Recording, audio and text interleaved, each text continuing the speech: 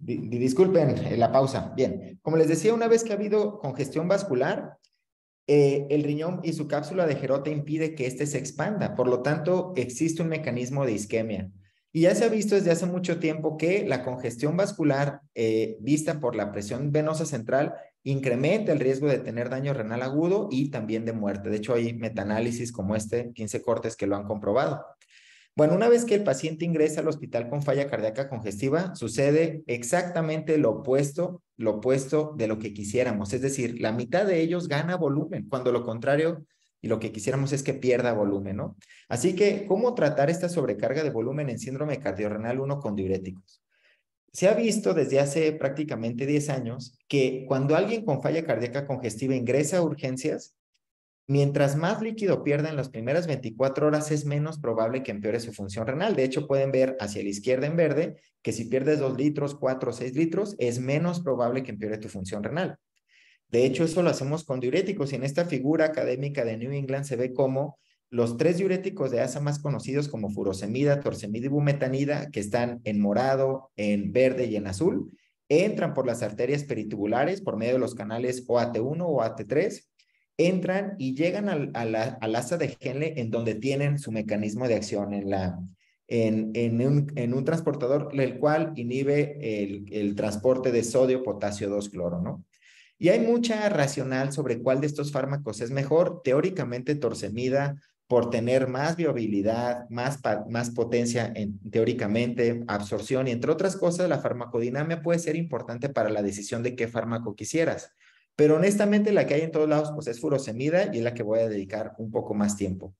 Existen metaanálisis de, de, de 19 estudios que han dicho que torcemida es mejor que furosemida en falla cardíaca congestiva porque aumenta eh, la capacidad de funcional, disminuye la probabilidad de hospitalización y también la muerte cardíaca. Así que un metaanálisis enorme en el cual pues probablemente sí, sí sea tendencioso decir que eh, torcemida es mejor.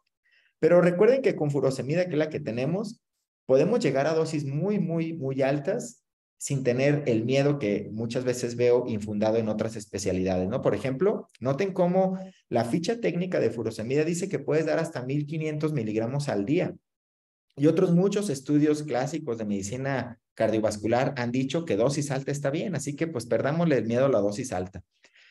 De hecho, el, estudio DOSE en New England ya prácticamente hace más de 12 años nos enseñó que si doblamos la dosis de creatinina a la que tomaba el paciente cuando ingresa con falla con cardíaca congestiva, la tendencia de las creatininas va a ser mejor, al igual que cistatina, es decir, va a ir a la baja, va a mejorar esto en teóricamente la función renal. Y incluso esto que aprendimos en farmacología de cómo la forma que excreta el sodio el riñón depende de una dosis logarítmica del diurético. En pacientes con falla cardíaca congestiva, por ejemplo, el rojo, esto le hemos dicho que la curva se desvía a la derecha, eso es lo típico, ¿no? Decir, a la derecha y aparte está eh, a la baja regulación, el techo es bajo. Pero un paciente sano, con poquita furo que le demos y aumentamos logarítmicamente su dosis, vamos a llegar a un techo en el cual pues de, de ahí en adelante ya no va a orinar mucho más sodio. Así que, da, ¿cómo dar estas dosis de diurético? Yo creo que el estudio, sin duda, el más famoso, y gracias a este estudio cambiaron las guías internacionales, es el CARRES-HF, en donde Pacientes que ingresaban con cardiorrenal 1 al hospital eran aleatorizados a recibir únicamente ultrafiltración con una máquina extracorpórea, 200 mililitros por hora, es decir, más o menos 4.8 litros al día, nada más eso, contra una estrategia completamente compleja en donde se daba una diuréticos de manera escalonada. En cuatro días le dabas al paciente una dosis basal de furo, que es diario 80 miligramos, por ejemplo, y además le dabas una infusión de diuréticos que iba cambiando de dosis, prácticamente se iba multiplicando al paso de los días. Todo esto con la intención de que el paciente orinara más de 3 litros al día. Si orinaba más de 5 litros, eso no se decía, no decían suspende, nada más es reevalúa, continuar. Pero así que, además de poner diuréticos como clortalidona, como espironolactona, Podrías agregar dispositivos interventriculares y además nitroglicerina o neseritide o dobuta. Así que para muchos este tipo de estudios no fue justo porque era hacer todo esto contra ultrafiltración. El CARRES demostró que ambos pierden exactamente igual de volumen, pero los diuréticos promueven que la creatinina disminuya, es decir, como que mejora la función renal. Y además los eventos adversos fueron mucho más frecuentes con el diurético, eh, con el catéter vascular, ¿no? La ultrafiltración. Después de esto, en la guía se ha recomendado, de hecho la guía más reciente, en donde se ha recomendado que el paciente con falla cardíaca congestiva debe de orinar más de 3 litros en un día y si no orina más de 3 litros en un día, puedes doblar la dosis de diurético y utilizar otras cosas que vamos a hablar más adelante. Esto es lo que quisiéramos todos, ¿no? Vean hipotéticamente cómo está una línea en donde el eje de la Y es la perfusión renal, mientras más alta es mejor, y en el eje de las X está la presión al término de, la diástole del ventrículo izquierdo, en donde una presión muy, muy a la derecha, pues sería malo. Es decir, el paciente que ingresa es el punto amarillo, en donde está muy congestivo y esa mucha congestión va a promover una mala perfusión renal. Cuando le quitamos líquidos con diurético, vean cómo se mueve ese punto amarillo, en donde le hemos quitado volumen y eso sí mantiene una mejor perfusión renal. Ojalá que aquí tuviéramos a todos los pacientes. Pero continuamos los diuréticos y esto es lo que nos da miedo a todos. Si ya le quitamos el suficientemente volumen como para promover hipoperfusión renal. Este punto clínicamente es muy, muy difícil saberlo.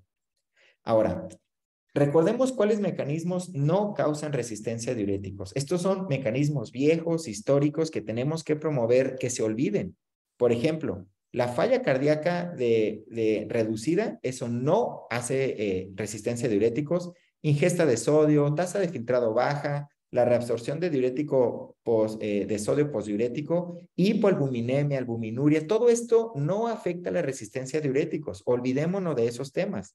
En una figura más académica se ve como todas esas cosas que antes pensábamos, digamos, extratubulares, fuera del riñón, que hacen la resistencia a diuréticos, representarían el 25% de esta resistencia y el otro 75% están dentro del túbulo renal.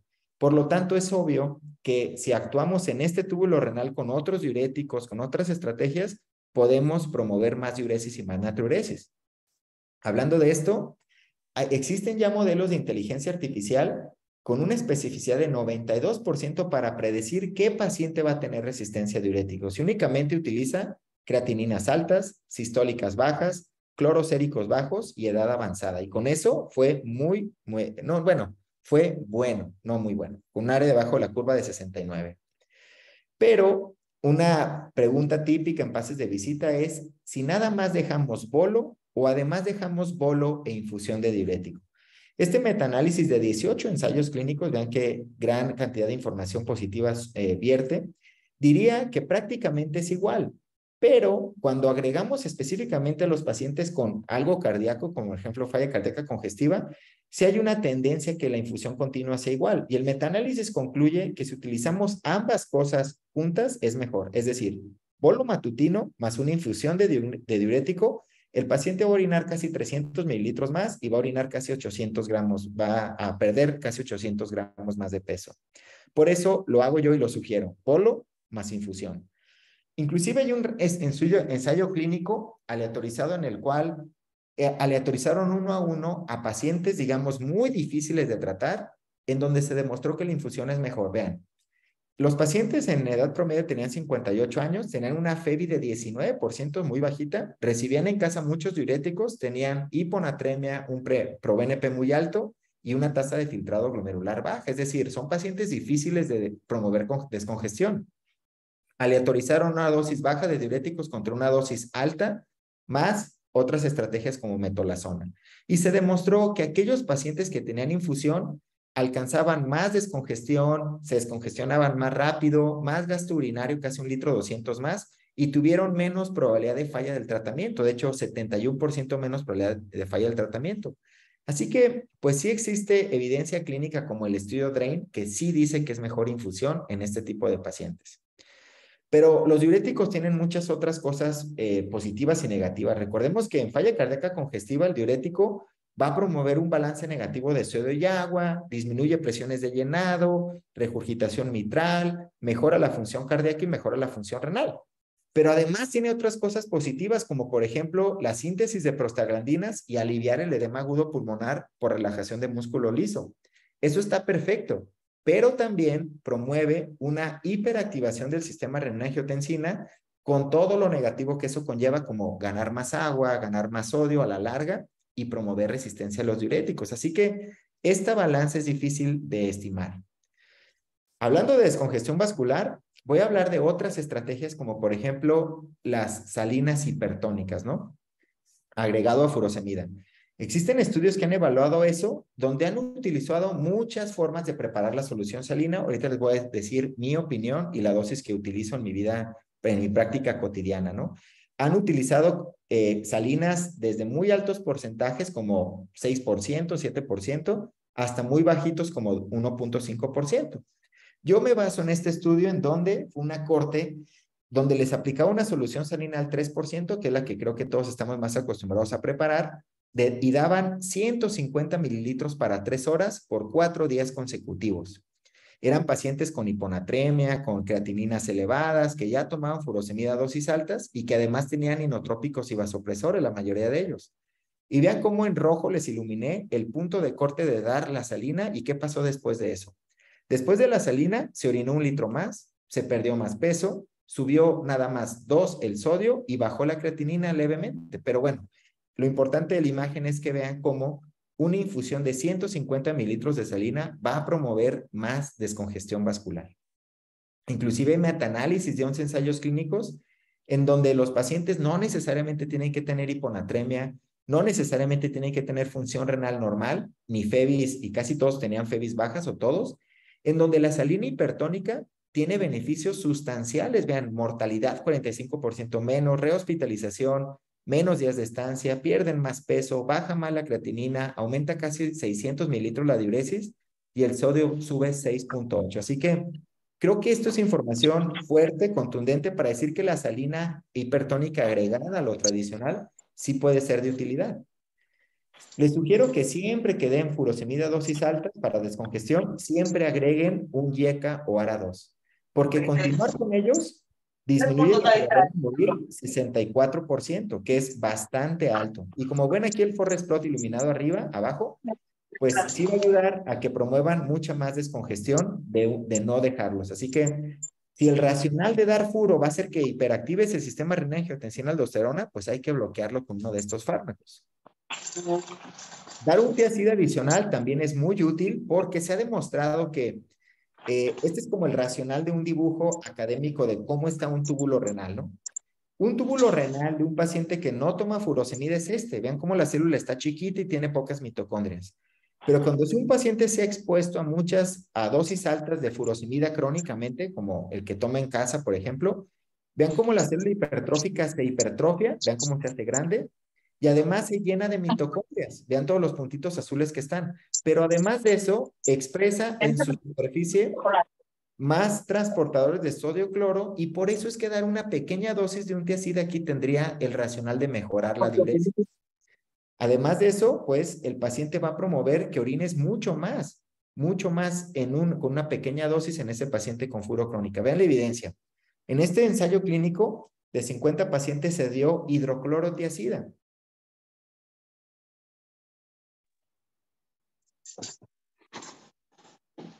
Perdón, ¿me escuchan? Bien, ya. Hidroclorotiacida va a generar una pérdida de prácticamente 400 gramos más por cada 40 miligramos de furo, es decir, una pequeña dosis de hidrocloro, 50 miligramos al día, va a promover que rápidamente se descongestione. Y hay otro ensayo clínico muy importante sobre hidroclorotiacida que es el Clorotic, ¿no? El estudio Clorotic demostró que en pacientes con falla cardíaca congestiva que ya tomaban furosemida, les dieron placebo contra hidroclorotiacida y notaron que hidroclorotiacida es efectivo en falla cardíaca congestiva porque promueve más diuresis, vean, casi 375 mililitros más diuresis, pierden más de un kilo de peso y fue muy seguro en cuestiones de mortalidad y eh, en comparación al placebo. ¿no? Así que sí vale la pena, de hecho empeora un poquito más la función renal, pero para mí eso es bastante aceptable, van a ver por qué. 46% hizo daño renal agudo contra el 17% de placebo, pero insisto, esto no necesariamente es algo negativo. Van a notar en un rato más. Eh, bien, hablando de, cómo hacer, agregar tratamientos a, los diuréticos, Hay algo que se ha denominado la terapia multisegmentaria, o sea, de segmentos del túbulo renal. Esta fue una corte retrospectiva con todas las debilidades que esto tiene de pacientes con enfermedad renal crónica, falla cardíaca congestiva, en donde les daban, además de furo, acetazolamida 250 cada 8, furosemida 200 miligramos cada 6 horas, metolazona y espironolactona. Este tratamiento promovió que el 62% respondiera, conste, eran resistentes a diuréticos, ¿eh? 62% respondió y para este grupo de autores, responder es nada más que orines un litro más al día, que la verdad se me hace muy mediocre, pero bueno, así fue. Que orinen un litro más al día fue respuesta. Esto hizo que el paciente perdiera 7 kilos en 7 días y que mantuviera niveles normales de sodio, potasio ligeramente bajo, boom y creatinina bastante, digamos, aceptablemente alta, ¿no? Así que en una corte retrospectiva nos, nos decían que el multisegmentario era, estaba bien, pero nosotros realizamos el primer ensayo clínico en su tipo en donde pacientes con cardiorrenal 1 aleatorizábamos a dos estrategias de diuréticos diferentes. Una de ellas era mantener diuréticos de forma elevada, es decir, 100, luego 200, luego 300, luego 400. Esto es lo tradicional, digamos.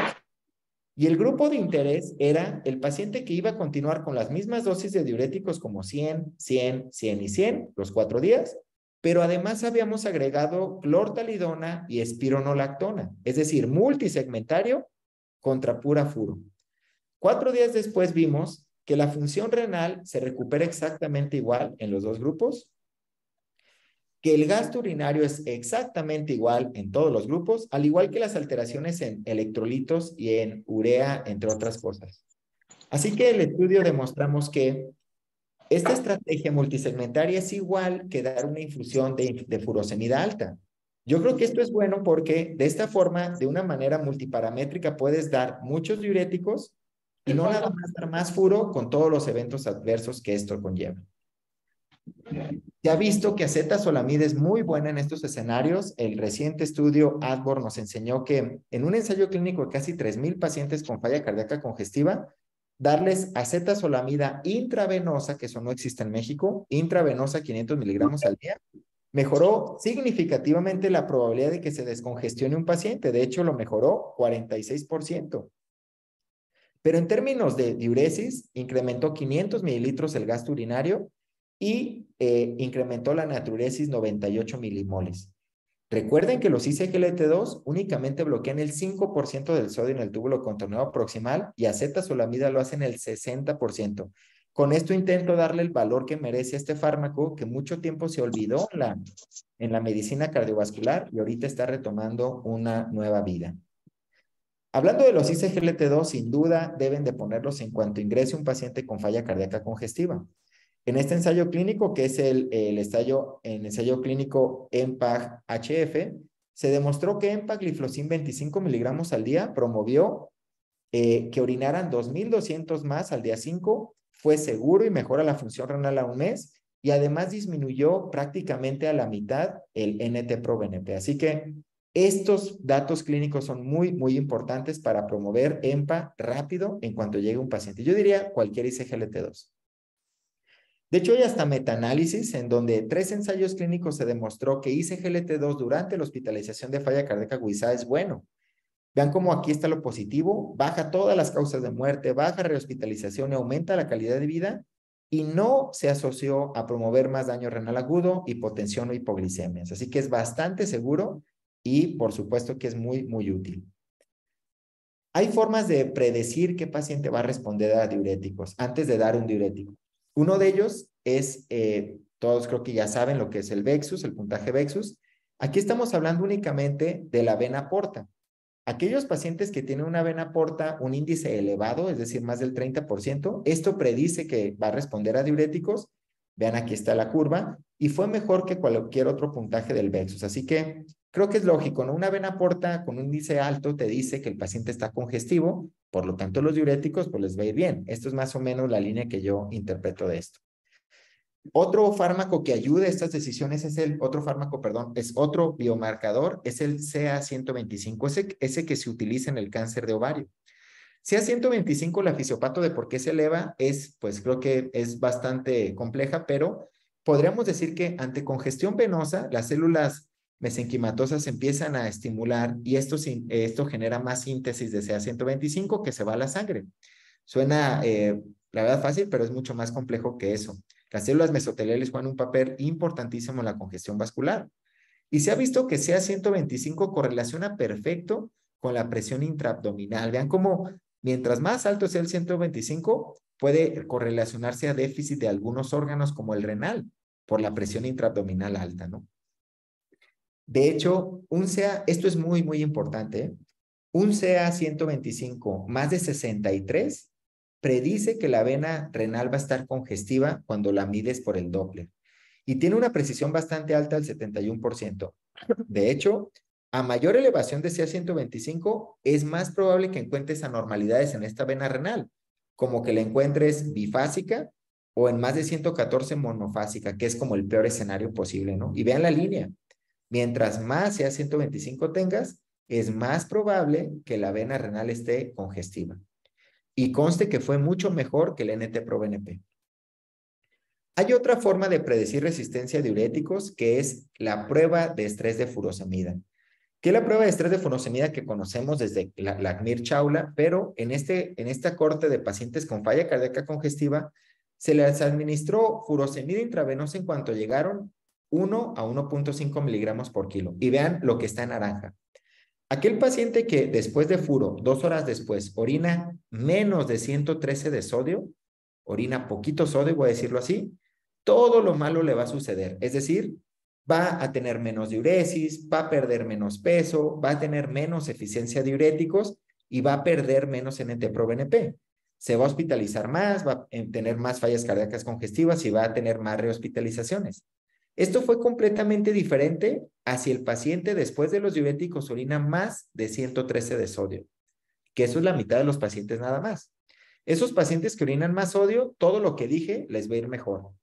Menos tiempo en el hospital, más rápido se descongestiona, más baja NT-proBNP, así que todo lo que nos importa en estos pacientes les va a ir mejor. De hecho, ese estudio, hablando del sodio urinario, perdón, en otro estudio, se vio que el sodio urinario predice muy, muy bien quién, quién va a morir y quién no. Esto fue un sodio urinario de todo el día, medido 24 horas, no nada más una sola micción. Dividieron a los pacientes en tres grupos, el grupo positivo, el intermedio y el excelente. El positivo es el peor paciente porque el positivo es el paciente que se queda con sodio, por eso es positivo, porque se quedó con un balance positivo de sodio. Así que ese paciente es el que orinó en un día menos de 87 milimoles. El más o menos fue de 87 a 174 y el mejor paciente el de más de 174. Vean esta imagen. Uno de cada tres pacientes va a orinar o menos de 87 de sodio. Conste, es el peor paciente posible, el que orina poquito sodio. Y vean las curvas de sobrevida completamente diferentes. Así que no importa cuánto orine el paciente, no importa si orina, eh, me, refiero a cuánto orine del volumen, ¿eh? O sea, no, no, no importa que orines dos litros, tres litros o más. Pero si orina menos de 87 de sodio, es el peor paciente con esta sobrevida que ven abajo. Así que puede ser que sea más relevante cuánto sodio orinas en cardiorrenal que cuánto volumen orinas. Creo que eso es un paradigma que puede cambiar.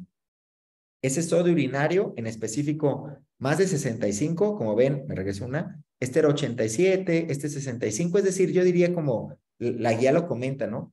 Un valor de sodio cerca de 70 para abajo es malo.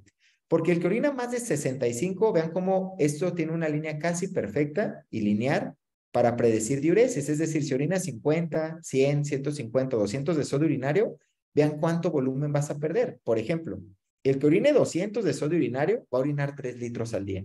Así que tiene una muy, muy buena correlación esto. Y hay hasta metaanálisis de 11 estudios en donde dice que si tienes un sodio urinario entre 50 y 65, después de los diuréticos, vas a tener 500 mililitros más de orina y reduce 73% la probabilidad de morir. Así que, por eso les comentaba, es probable que el sodio urinario sea más importante que el volumen urinario. ¿Qué tal esta estrategia que se utiliza mucho en algunos lugares del mundo, que es furosemida más albúmina intravenosa? Este es un metaanálisis de tres estudios en donde se dijo que la albúmina más furo era mejor porque los pacientes orinaban 745 mililitros más al día. Pero, el gran pero es este. Este metaanálisis no representa a los pacientes que tomaban furosemida que utilizamos hoy en día, porque las dosis que utilizaban de furosemida todos estos estudios en el comparativo contra albúmina eran una dosis muy bajas comparado a lo que se hace hoy en día. Desde mi opinión, esta es mi opinión, que a pesar de esta evidencia que están viendo en pantalla, no creo que necesites albúmina agregada a furosemida porque creo que con una dosis alta de furosemida más otros diuréticos, tiacidas, entre otras cosas, no necesitas albúmina. Esa es mi opinión. Bien, eh, recordemos que la furosemida tiene eventos adversos graves, como por ejemplo hiperactivación del sistema renal-angiotensina, daño renal agudo, hipocalemia, alcalosis metabólica, magnesemia, entre otras cosas. Así que cuando empeora la función renal en estos escenarios, eso no necesariamente es tan malo. Vean cómo en esta corte multinacional del estudio Aquinesis se demostró que el empeoramiento de función renal no tiene un impacto negativo un año después. Esto visto por el evento compuesto de muerte u hospitalización por falla cardíaca, vean, les fue igual, empeores o no empeores tu creatinina. Para muerte individual o para hospitalización por falla cardíaca individual, les fue igual. Bajo la misma línea, hay otro estudio, el DOSE, en donde se vio que el empeoramiento de función renal es mejor, inclusive, les va mejor. Porque esos pacientes noten que aquí está bajo creatinina, esto es negativo, o sea, pierden creatinina, bajan creatinina. Y esto es que suben creatinina de aquí a la derecha. Vean la línea, o sea, si tu creatinina disminuye, la probabilidad de que mueras o te rehospitalices o llegues a urgencias es mayor significativamente a que si la elevas. Por lo tanto, la línea es muy visual en donde se ve que el paciente que empeora función renal le va mejor en verdad, le va mejor. Y si mejoras tu creatinina, te va peor. Esto es paradójico, pero tiene una explicación eh, muy, muy obvia, que la voy a decir un momento más. Otro estudio, casi prácticamente bajo la misma línea, dice que si induces daño renal agudo por promover una diuresis agresiva en cardiorrenal, esto no necesariamente indica un daño tubular y paradójicamente reduce la probabilidad de morir. Se midió por creatinina o por cistatina, divididos en azul o violeta, los que empeoran o mejoran función renal y vean cómo está igual, cómo están iguales. Y de nuevo, paradójicamente, en que el que sube cistatina y además otros biomarcadores de daño tubular, ven en amarillo, fue el que le fue mejor. Insisto, esto es paradójico en comparación a el paradigma típico, clásico de la nefrología de que si empeoras creatinina te va a ir mal, ¿no? Otra forma muy buena de guiar qué paciente que empeora creatinina no debe preocuparte tanto es la disminución de NT-proBNP. En estas seis cortes se vio que si durante la hospitalización, o sea, si dura cinco días o siete días, durante la hospitalización, baja 30% NT-proBNP, es el mejor escenario posible porque sin importar cómo le vaya tu creatinina, esos pacientes les va significativamente mejor en mortalidad. Esto quiere decir que no importa tu empeoramiento renal. Si bajas NT-proBNP 30%, te va a ir bien.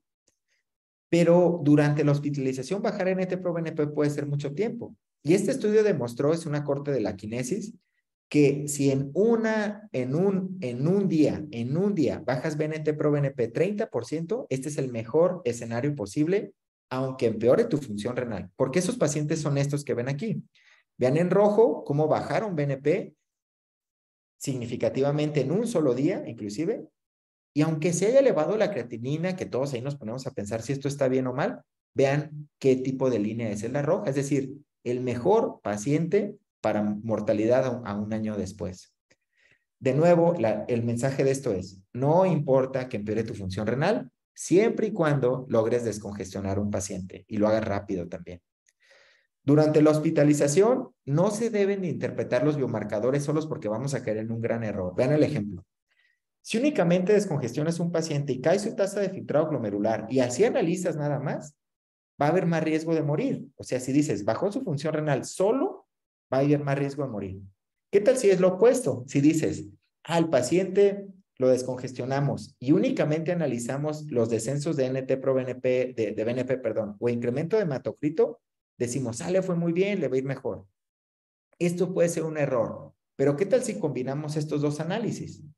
En donde no importa si baja tu función renal, siempre y cuando descienda el BNP, vean, se nulifica el riesgo de muerte.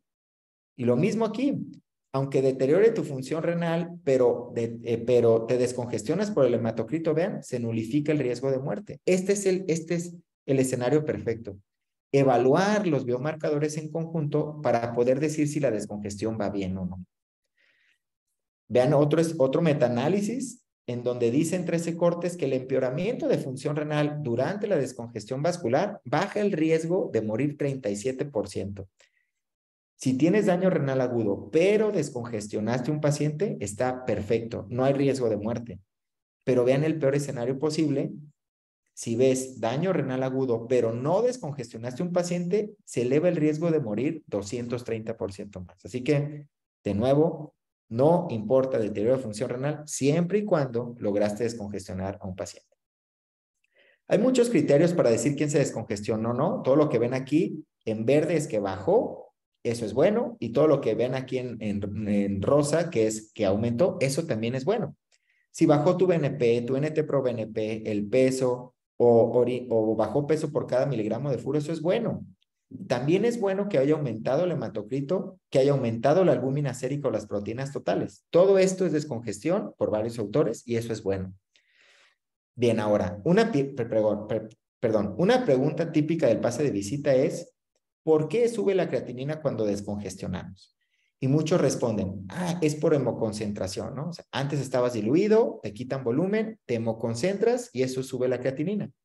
Eso es un error y lo sabemos gracias al grupo de Jeffrey Testani, en donde se demostró que esa creatinina, al paso de eh, esa elevación de creatinina, puede corresponder al volumen urinario que tengas. Y el único grupo, único grupo que puedes decir que esa, que esa creatinina sí se hemoconcentró fue el que el paciente orine 7.5 litros, 7.5 litros. Ese es el único paciente que sí puedes decir que su incremento de creatinina fue por hemoconcentración. Honestamente, esto es extremadamente raro, que alguien orine tanto en un solo día.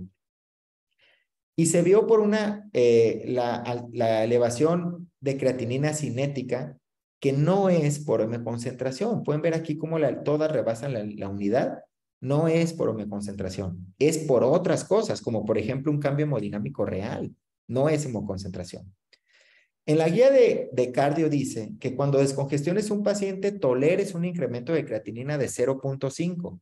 O sea, dice 0.5 está bien, más de eso no está bien.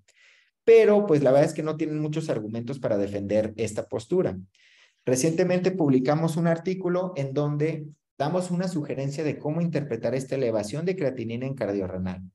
Esa elevación de creatinina, lo que está en la parte roja, es algo que no, que, puede ser, perdón, que puede ser algo plausible, que probablemente no explique, no explique esa elevación de creatinina como necrosis tubular. Eso no es, no es posible que suceda. Ni tampoco hemoconcentración, ya lo demostró el grupo de Jeffrey Testani. Pero lo que sí es probable que suceda está en verde aquí al lado. ¿Es posible que esa diuresis que promovimos esté dando una hipoperfusión renal? ¿Es posible? ¿Es posible que haya una hipovolemia verdadera? Y es posible que haya cambios hemodinámicos en el glomérulo que también disminuyan la tasa de filtrado glomerular. Así que, acorde a la evidencia actual, esto sí puede pasar y esto es improbable. En ese mismo estudio hice este dibujo en donde los pacientes con cardiorrenal 1 que están muy congestivos, iluminado en azul, le empiezas a dar diuréticos y empiezan a perder volumen, empiezan a perder volumen después de cinco o seis días, y ves diferentes escenarios de creatinina sérica. Lo que dice cardio es que si se eleva menos de 0.5 está bien, y creo que todos estuviéramos contentos aquí. Pero ¿qué tal si la creatinina de estar en 1 se eleva a 2? ¿Qué tal si se eleva a 4? ¿Qué tal si se eleva a 20 la creatinina?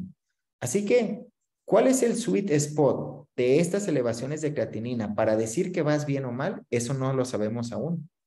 Porque hay estudios que dicen que estas elevaciones te va mejor para eventos cardiorrenales en algún tiempo. Y hay quienes dicen que te va peor. Creo que este es un área gris. Estamos haciendo ahorita un protocolo acerca de esto y en poco tiempo verán el resultado que creo que les va a sorprender. Mis últimas dos diapos van dedicadas a otras cosas de cómo quitar diuréticos sin dar eh, de, cómo, perdón, quitar volumen sin diuréticos. Por ejemplo, este. Esto es un metaanálisis de ocho ensayos clínicos en donde se vio que la ultrafiltración extracorpórea, es decir, una máquina que te quita el volumen, como de diálisis, por ejemplo, como de SCUF, como de peritoneal, es mejor que los diuréticos. Y conste que es un metaanálisis de ocho ensayos clínicos. Pierdes más fluido, pierde más peso, menos empeoramiento de falla cardíaca congestiva y rehospitalizaciones y tienen la misma función renal y probabilidad de morir, pero es mejor. Y por último, este metaanálisis de 20 estudios en donde se dio diálisis peritoneal en falla cardíaca congestiva refractaria y donde se vio una gran efectividad de la peritoneal porque no cambia tu función renal, pero aumenta la fracción de eyección, aumenta la clase funcional, disminuye los días de hospitalización y uno de cada tres muere al año. Fíjense que son pacientes muy, muy, muy enfermos. Así que con esto termino. Mis conclusiones son que el síndrome cardiorrenal es por sobrecarga de fluidos, no es por cosas como de gasto cardíaco, de hipoperfusión renal. La otra es que descongestionemos agresivamente desde el ingreso al hospital. Utilicemos diuréticos de asa a dosis altas, mínimo 2.5 veces lo que el paciente tomaba en casa. Demos un bolo más infusión, por ejemplo, 80 de bolo en una infusión de 120, 240, 480 o más. Además, ante pacientes resistentes, añadan espironolactona, clortalidona, cetazolamida, ICGLT2, el que sea, y una salina hipertónica. Lo último, no importa el empeoramiento de función renal siempre y cuando haya habido descongestión vascular. Ahora, ¿cuánto empeoró la creatinina y esto equivale a un evento adverso? No lo sé. Yo creo que 0.5, lo que dicen los cardios, yo creo que eso no es apropiado. Yo creo que podemos ser un poquito más permisivos. Pero ¿cuánto? Pues no lo sé.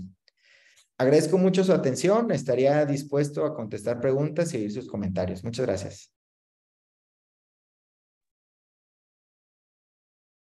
Muchas gracias al doctor por esta excelente conferencia. Los micrófonos están abiertos. Pueden hacer sus preguntas o pueden escribirle en el chat.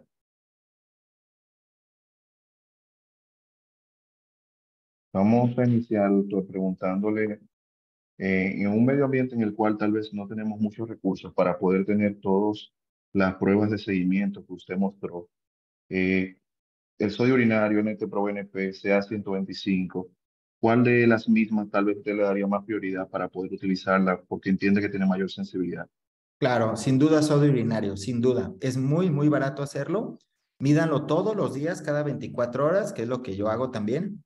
Todos los días, cada 24 horas, y ahí puedes ir viendo cuánto, si necesitas optimizar tu dosis de diuréticos o no. Yo, mi número, digamos ahí, aceptable es menos de 70. Si alguien tiene menos de 70, doy más diurético, doblo dosis, añado otro más adicional y así consecutivamente.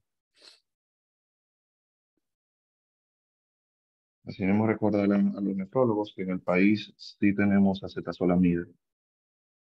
¿Intravenosa? Sí, señor. Bien, bien, bien.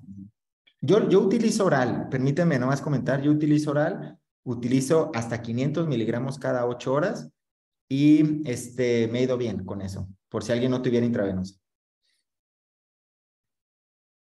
Bien, Jonathan, es, eh, bueno, hay que darle un saludo a Domingo Martínez, que fue que me comentó de ti al principio. Me dijo, mira, tengo a Jonathan Chávez que quiere dar una charla. No sé si quería, pero bueno, él me dijo de ti y aquí estás. Así que saludo a Domingo Martínez, que hay que darle su saludo de, que, de que tú estés aquí. Mira, eh, te felicitan en el chat. Hay una pregunta de Lilian Gomera que dice, ¿cuál es tu experiencia con el uso de bumetanida y qué tan efectivo versus la furo?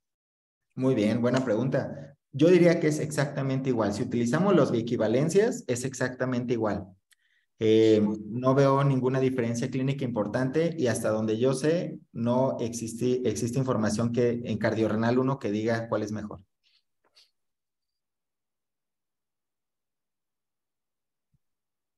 Muy bien, yo tengo otra pregunta.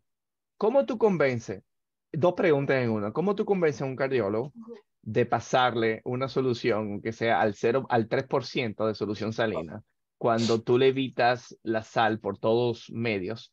Y en ese un ejemplo y aquí son soluciones que se preparan, que quizás sean un poco también costosas por la concentración que se hace en una central de mezcla. Creo creo, y digo porque no, lo domino ese tema exactamente, creo que no hay una solución preparada del 3% aquí en, nuestro país, sino que son mandadas central de mezcla.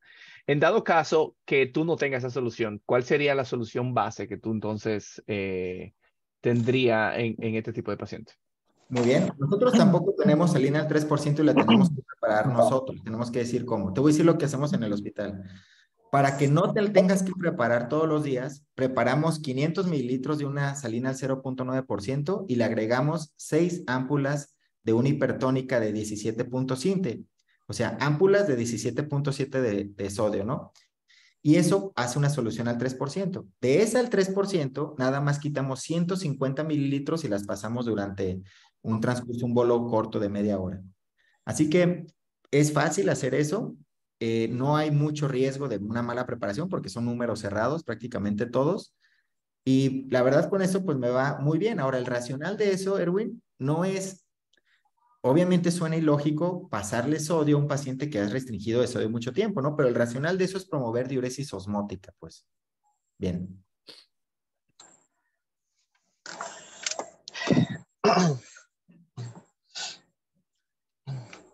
un, un, un, buen comentario también apoyándote a lo que tú dices.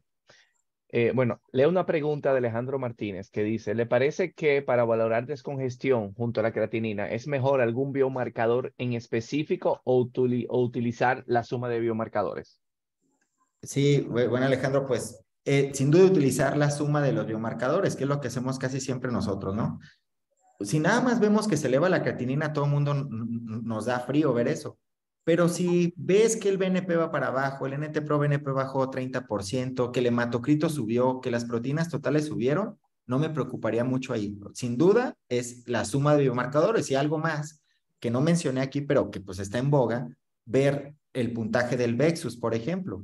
Si el Vexus de estar en 3 vas en 2, en 1, en 0, pues vas perfecto, ver el diámetro de la yugular, ver las líneas B. Si todo eso va mejorando, no pasa nada. Vamos bien. Eh, otra pregunta. Eh, buenas tardes, doctor. Una duda. Se ha visto que el paciente con congestión cardiovascular en falla cardíaca es igual deficiente a tomar el sodio urinario a las dos horas de haber iniciado los diuréticos y tomar de referencia 50 a 70 milimol o a las 24 horas el sodio urinario. Exactamente. Muy bien. las dos son apropiadas y las dos tienen mucha evidencia clínica de su eficacia. Yo en mi hospital tomar, o sea, dar un, un bolo de furo y dos horas después medir diuréticos, pues sí tienes que tener como que todo perfectamente coordinado y honestamente en mi hospital pues no estamos tan, así, ¿no?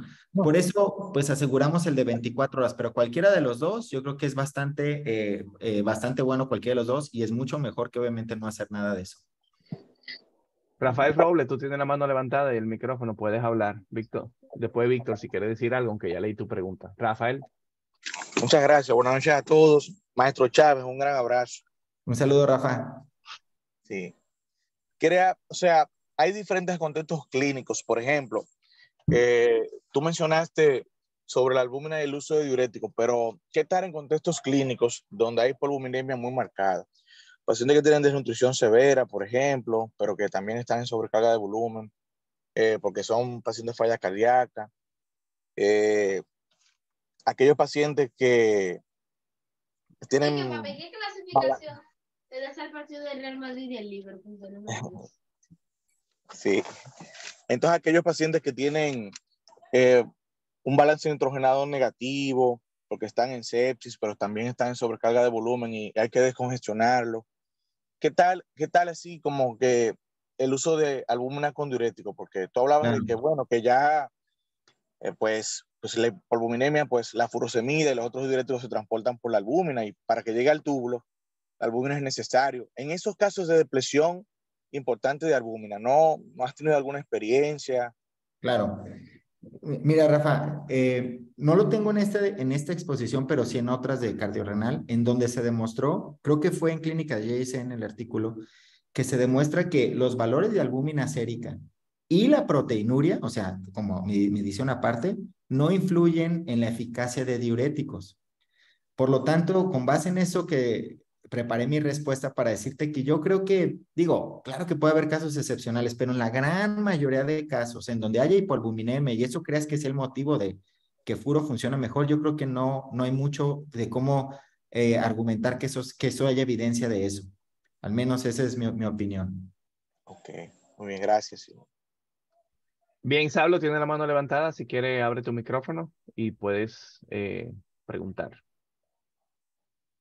Hola, ¿qué tal, doctor? Buenas tardes. Este, muy interesante su, su, su plática de diuréticos. Yo le tenía una pregunta con respecto a, a qué tanta experiencia tiene usted en, en cardiorrenal tipo 1 sobre el uso de vasodilatadores, sobre todo nitroglicerina o nitroprusiato. Claro, muy buena pregunta. Re regresémonos 10 años en donde pareciera que el cardiorrenal 1 era la forma apropiada de tratarlo, mejorar lo cardíaco o, la, o lo cardiovascular, digamos, para mejorar la función renal. Donde había estudios grandes con eseritide, con dobuta, con levosimendan inclusive, y pareciera ser que eso se perdió en la historia de la, del manejo cardiorrenal, porque como lo puse ahí en, en Kidney 360, ya se evidenció que todo lo que está fuera del túbulo renal tiene muy poca relevancia para la descongestión vascular. Ahora, vamos a poner casos específicos. Te estoy diciendo el paciente cardiorrenal común y corriente, ¿no? Pero si alguien necesita de un dispositivo interventricular, por ejemplo, si alguien tiene necesidad imperiosa de, de, un, de de, de, un lisotrópico, algún fármaco de ese tipo por una indicación cardíaca, no, no para promover diuresis, claro que sí tendría utilidad pero únicamente para diuresis, lo que estamos hablando de hoy, yo creo que eso no es tan útil como antes pensábamos. Yo creo que debes de concentrarse en cómo promover que tu túbulo renal orine más agua y más sodio. Fuera de eso, tiene muy poca evidencia de, de, de, eficacia. Gracias. ¿Ven alguna otra pregunta? ¿Cuál es, eh, doctor Jorge Gamboa, pregunta, ¿cuál es el criterio en su centro para considerar ultrafiltración versus manejo médico de un paciente que no está en la UCI? Claro, muy buena pregunta porque pues e, eso honestamente pues no tenemos un criterio, ahí es algo artesanal de que llegas y más o menos vas viendo la tendencia. Pero sí te puedo decir que somos muy, muy permisivos en eso. Por ejemplo, si vemos que un paciente va descongestionándose bien, vamos alcanzando metas, ya no tiene disnea, ya no tiene puntas nasales, BNP va para abajo y la creatinina está en 4, no me preocupa y no lo meto a, a diálisis por eso. Pero te voy a poner el otro contexto. ¿Qué tal si damos diuréticos, si no hemos descongestionado y la creatinina está en 2, por ejemplo? Si lo meto a, si hay persistencia, pues sí lo meto a una ultrafiltración. Así que tiene que ver esa, esa forma artesanal de evaluar la congestión y más o menos, pues, tú ir decidiendo. Creo que esa corte que vamos a sacar en pocos meses va a, va a añadir un poco esa respuesta de cuánto de creatinina como para ya decir, ya lo conecto, pues. Doc, una pregunta. En el caso que en el último estudio que te puso del metaanálisis que habla de la ADP, si yo he escuchado análisis que utilizan más probablemente icodextrina. Asumo que, que la icodextrina por su valor mórtico y largo plazo, pues, y remoción de sal, es mejor que las glucosadas. Asumo que utilizan, ustedes, ¿tienen icodextrina ya? No tenemos aún, en eso andamos, pero pura glucosada. Y sí, tienes razón, Erwin, considerando que más o menos obtienes la misma ultrafiltración que una glucosada de, de, color rojo, o sea, de máxima concentración de glucosa, pues sí podría ser racional que icodexina fuera mejor. La doctora mi Santana pregunta que si le puedes repetir cuántas dosis del bolo de sodio al 3% y, y cuánto tiempo vamos a usar los bolos de sodio. Bien, 150 mililitros al 3%, cuatro días consecutivos. Aunque hay muchas formas de darlo, ¿eh? Esta es la que yo utilizo eh, por, con base en un estudio, pero hay hasta metaanálisis de eso. ¿Y tú lo pones con eh, diuréticos al mismo tiempo o, sí, infusión continua? Por supuesto. O sea, eh, una sola dosis de, de, media hora, ¿no? 30 minutos, junto con todo lo demás, junto con diuréticos, junto con todo lo demás. Yo lo pondría, y así lo hago, como mi tercera o cuarta línea. Casi, casi la salina hipertónica la dejo hasta el último, ¿eh? Siempre doy antes tiacidas, doy espiro, doy SGLT2, doy acetazolamida y a lo mejor después de eso la hipertónica. Muy bien. Pues yo creo que estamos llegando ya al final. Ya las preguntas, la mayoría se han contestado.